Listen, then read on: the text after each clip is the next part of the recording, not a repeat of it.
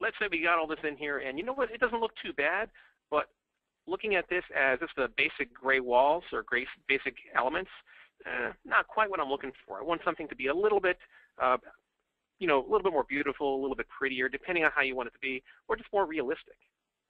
So you've got the ability to do renders directly inside of Navisworks, and you have for quite a while.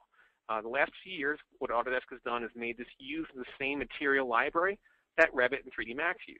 So it's, a, it's going to be a little bit more consistent.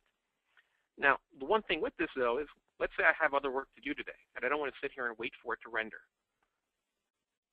So I can always come over here to say render, and tell it to render in the cloud. So I can actually take this. say, you know what? I need this done quickly.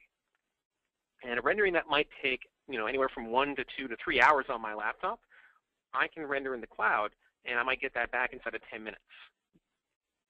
So if I look at my current view and I say I want this to be a still image, maybe I want this to be a panorama.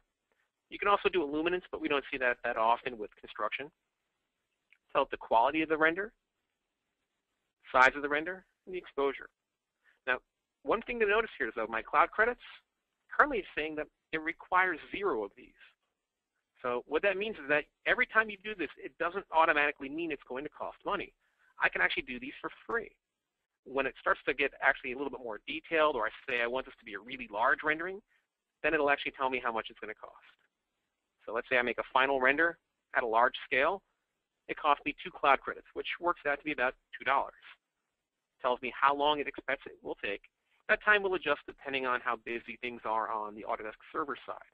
So if it's near the end of the month maybe, and you have a bunch of companies all trying to hit their servers at the same time, that time might go up but it's always going to be faster than running it natively on your desktop, unless you have like a crazy, you know, rendering rig. It's always going to be faster online. And then just say start rendering, and either I just take a look at it after the fact, or I tell them to email me when it finishes. And I can always click on this, and that opens up the rendering gallery. And I can actually see any of the renderings that I've already put up there. So in this case, for a project that I did the other day. Really basic, just online, medium level of detail. And I can look at this from a standpoint of having it be pretty basic there, from having an illuminance so I can get an idea of how much solar uh, energy is hitting the walls. And I can actually make ones that look like this. Now this looks pretty weird right now, but what that actually is, is a virtual reality one. So I can actually send that to my phone and actually look around by moving my phone up and down and left and right and actually see that rendering work out there. So that's one of the newer features that you can actually do with this.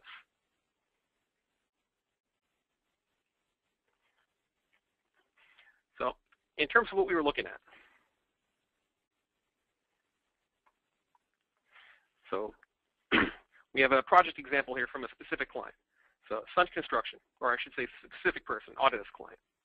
So one of the things that they actually felt was that because of their ability to communicate by 3D, by explaining where things went, and in the case of the view that we're looking at, we're looking at the reinforcement, we're looking at the piping that's inside of that, and explaining how all that works, and also as you can see where there's some clash issues right there. So this allowed them to help communicate with their subcontractors uh, develop better construction schedules because they can see where their issues were going to be. And this was a legitimate project. Uh, I think one of the funniest stories I have is from a client that we had where they had they were printing out. Nope, thank you.